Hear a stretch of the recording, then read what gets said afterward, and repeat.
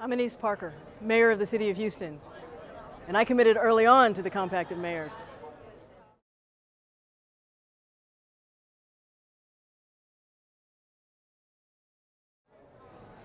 Because as the leader of one of the oil and gas capitals of the world, if not the oil and gas capital of the world, I thought it was important to make a statement of my commitment and uh, all of the work that the City of Houston has already done to meet climate action goals.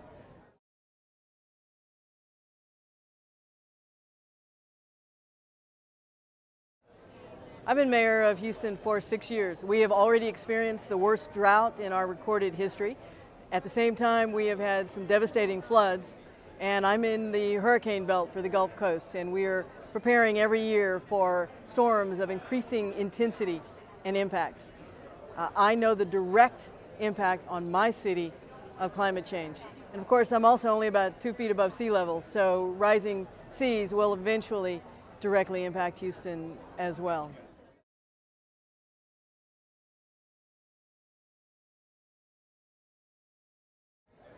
You can't manage what you don't measure.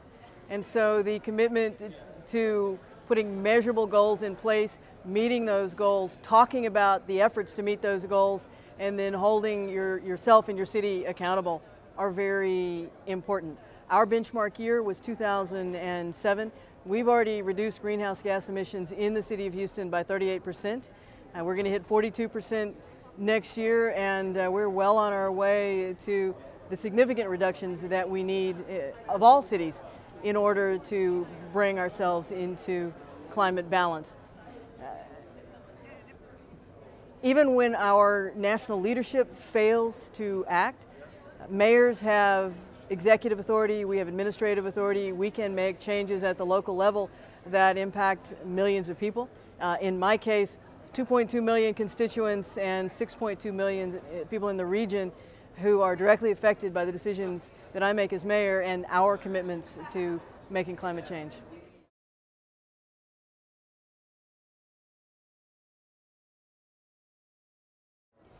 Uh, I have good ideas, other people have good ideas.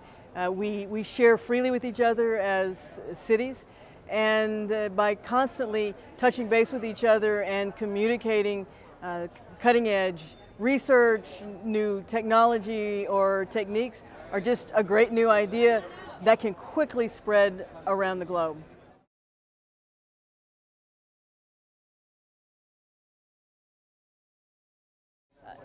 As the leader of the oil and gas capital of the world, I'm very proud that the City of Houston is the largest municipal purchaser of renewable energy in America. And uh, we're, we're close to achieving 50% uh, of our energy use from renewables to, to fuel the city. But I'm also proud that our business community in Houston, that the citizens of Houston are beginning to embrace the change too. I frankly don't talk a lot about we have to do this to reduce greenhouse gas emissions. I talk about simple changes that we can do that are good for greenhouse gas emission reduction, but also good for the bottom line. It doesn't necessarily have to cost more to do the right thing.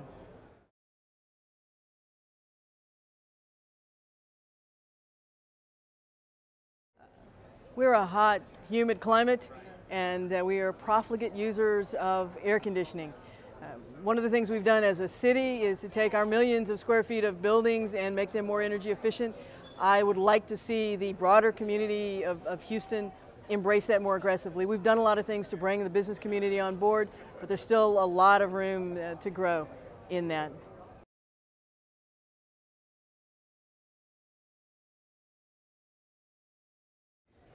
The city of Houston and uh, Los Angeles are the two U.S. cities that are built around the car, the car. We are the sprawl capitals. And even though we are a car-based city and, and, we're a horizontal city, uh, we've just put $4 billion into uh, a four-line light rail system and a complete uh, reimagining of our bus routing system. Every bus route in the city has just been transformed because we believe we can up ridership by 20% in our mass transit system and uh, create both incentives for, for riders, but make it more convenient for riders to get out of their cars.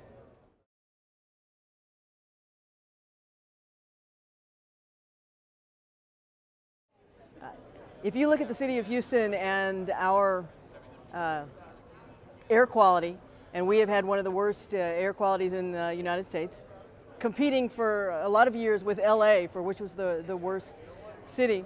About one third was from mobile sources, about uh, many vehicles, about one third was industrial. We have more than 20% of the refining capacity of the United States, and about a third was from off-road mobile. We, a lot of construction equipment. If we can do things to take that one third number of vehicles and bring it down, it can have a significant impact.